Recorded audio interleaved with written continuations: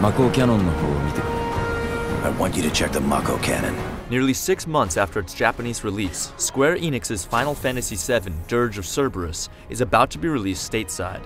Set in everyone's favorite Final Fantasy universe, the story follows the enigmatic Vincent Valentine and takes place shortly after the events of Final Fantasy Advent Children.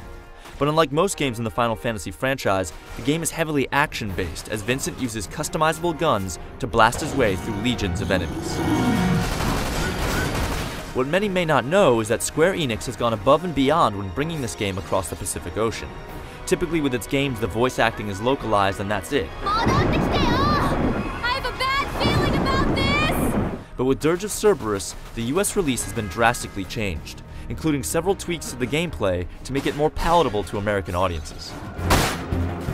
Most notable is the targeting system, in the Japanese version of the game, shooting could only occur in an over the shoulder view.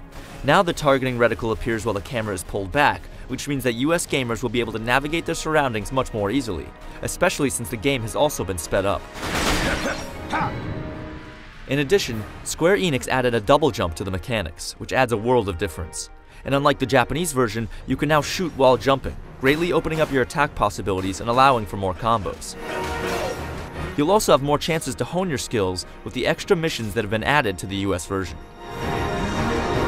Another change involves the Limit Breaker, which allows Vincent to turn into a rampaging beast.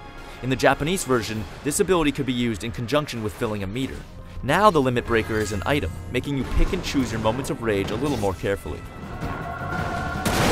There's absolutely no doubt that the changes made to the US version of Dirge of Cerberus make the game more intuitive and, more importantly, much more fun to play. Especially for US audiences who have come to expect a little bit more flexibility from the controls in action games.